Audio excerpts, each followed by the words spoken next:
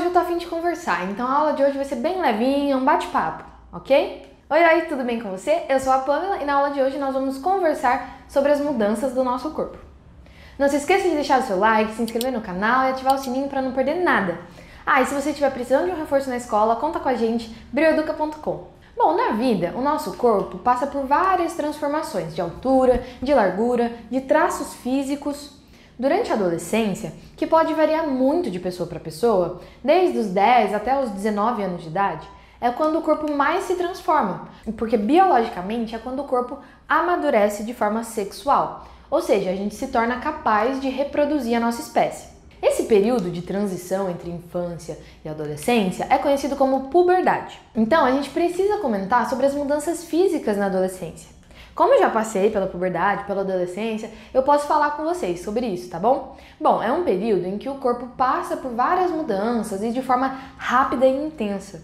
Então, pode provocar sensações diferentes na gente, preocupações e também inseguranças. E por isso que é importante a gente entender o que está acontecendo com o nosso próprio corpo, para a gente conseguir se conhecer e ter uma maior segurança sobre a gente. Ah, e claro, como a maioria das coisas na vida, existem individualidades. Então a gente precisa lembrar que as transformações acontecem de forma diferente para cada pessoa. Esse processo de puberdade é muito individual, então cada um vai ter o seu tempo. Mesmo que um jovem apresente algumas características mais desenvolvidas que os outros, depois de um tempo todo mundo vai passar pelas mesmas transformações. Bom, no início da puberdade, as pessoas do sexo feminino tendem a passar por alterações mais cedo do que no sexo masculino. Por exemplo, a altura aproximada de um adulto tende a ser atingida aos 17 anos no sexo feminino e aos 19 no sexo masculino. E esse processo de aumento de temperatura. Eu não entendi esse final. Quer dizer, não entendi foi nada. de aumento de altura também pode ser conhecido como estirão de crescimento. Durante esse processo, também é muito comum aparecer uma quantidade maior de pelos, então pelos faciais, na canela, nas axilas e principalmente nos órgãos sexuais externos, que é o que a gente chama de pelos pubianos, né? Para aquelas pessoas do sexo feminino, durante a adolescência existe o desenvolvimento das mamas, que são os seios, e acontece a primeira menstruação. Na aula de sistema reprodutor feminino, a gente fala mais no detalhe sobre isso. Mas a principal função das mamas é produzir o leite que vai ser usado durante a gravidez, lá para alimentar o bebê. E aí, como eu disse que o nosso corpo está amadurecendo sexualmente, é porque ele começa a se preparar para esse processo, mesmo que ele aconteça daqui muitos anos, ele já vai se preparando.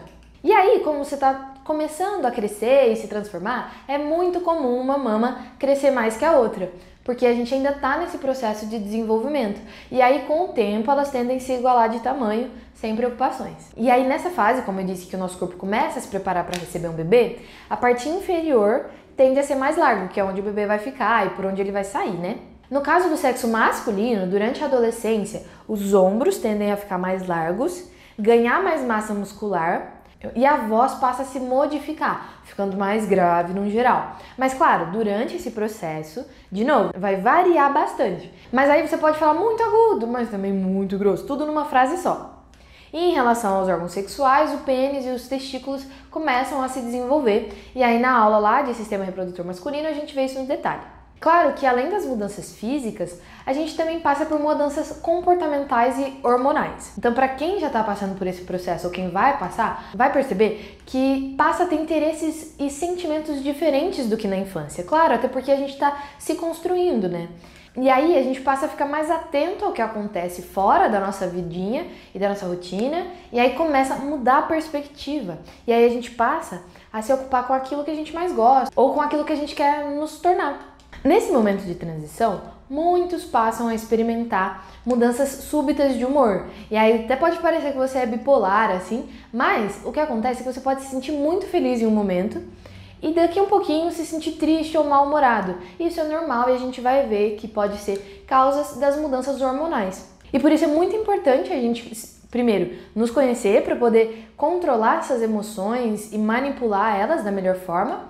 E segundo, ter uma rede de apoio muito importante, que seja de amigos, familiares, mas que entenda e respeite esse nosso processo. Só lembrando que nesse processo é muito normal, como tá tendo muitas mudanças ao mesmo tempo, a gente se sentir inseguro, fragilizado, com medo, porque a gente começa a ficar mais preocupado e observar mais a opinião dos outros. Mas a gente não pode deixar isso abalar a gente, porque a gente está construindo quem a gente é. Então é muito importante a gente dar atenção nas escolhas que a gente faz. Beleza, e nas mudanças hormonais, elas ditam as mudanças físicas e também influenciam nas comportamentais, como eu disse, a mudança de humor.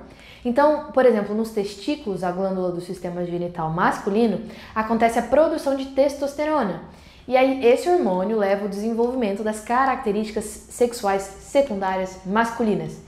O que, que isso quer dizer? Por exemplo, o aparecimento de barba, a quantidade de pelos no corpo no geral e as alterações de voz. É a testosterona que influencia nisso. Já no caso das pessoas do sexo feminino, nos ovários, que é a glândula do sistema genital feminino, acontece a produção de dois hormônios sexuais, o estrógeno e a progesterona.